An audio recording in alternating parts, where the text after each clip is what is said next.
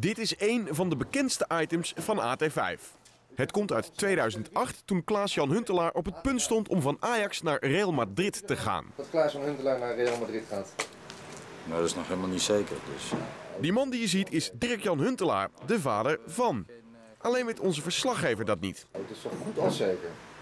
Nou, ik heb uh, nog geen uh, groen licht uh, gehoord. Dus. Nee? U had het wel van zijn ouders gehoord dan waarschijnlijk?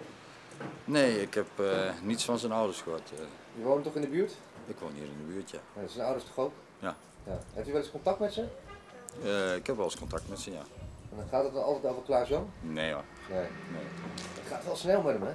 Jawel, het gaat wel snel. Een goede voetballer. Ja, ik heb er niet zoveel verstand van, maar uh, het is wel een goede voetballer, ja. Kwam hij wel eens bij u uh, over de vloer? Klaas-Jan, ja, hij kwam wel eens bij ons over de vloer. Ja, hij speelde wel eens met, met de kinderen van ons. Oké. Okay. Voetballen die ook? Die voetballen ook, ja. HC? Bij HC 03. Oké. Okay. Goeie club. Ja, die gaat er ook van profiteren als het goed is. Ja, maar als je het niet erg vindt, wil ik nu graag weer naar binnen toe. We houden niet van die... Oké. Okay. Dat had ik al begrepen. Dank u wel uw tijd. Onze verslaggever zal het interview waarschijnlijk nooit vergeten, maar hij vroeg zich af of dat eigenlijk ook geldt voor pa Huntelaar.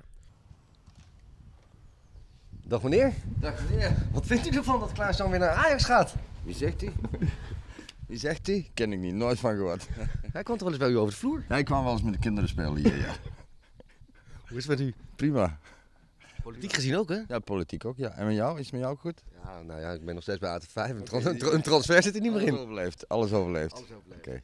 Nee, ik heb uh, niets van zijn ouders gehoord. Uh. Je woont toch in de buurt? Ik woon hier in de buurt, ja. ja zijn ouders toch ook? Ja. ja. Heeft u wel eens contact met ze?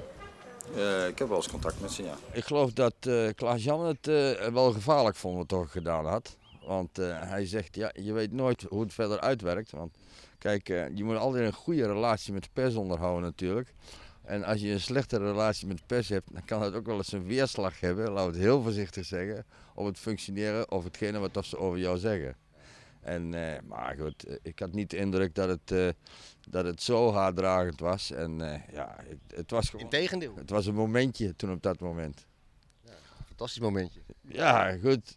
Voor mij een fantastisch momentje, voor jou een iets minder momentje. Maar goed, op zich, uh, op zich was het best wel leuk. En ik heb nog wel geïnformeerd of ze je niet zo wilden behandelen. Zoals... Ik heb me nog gebeld. Ja, ja, ja. Gaat het dan altijd over Klaas-Jan? Nee hoor. Nee. nee. Het gaat wel snel met hem, hè? Jawel, het gaat wel snel. Een goede voetballer. Ja, ik heb er niet zoveel verstand van, maar uh, het is wel een goede voetballer, ja.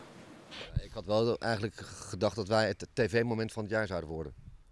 Ja, ik ook, wel, ik ook wel. Maar ja, goed, we hebben allebei ons best niet gedaan. We kunnen natuurlijk nu nog wel even een filmpje opnemen, dat ik weer uit de schuurdeur kan lopen. En, meneer Huntelaar, kent u Dirk-Jan Huntelaar? Daar heb ik nooit van gehoord. Doen we niet. Nee, dat doen we niet doen. Ja, maar uh, als je het niet erg vindt, wil ik nu graag weer naar binnen toe. We houden niet van die... Uh... Okay.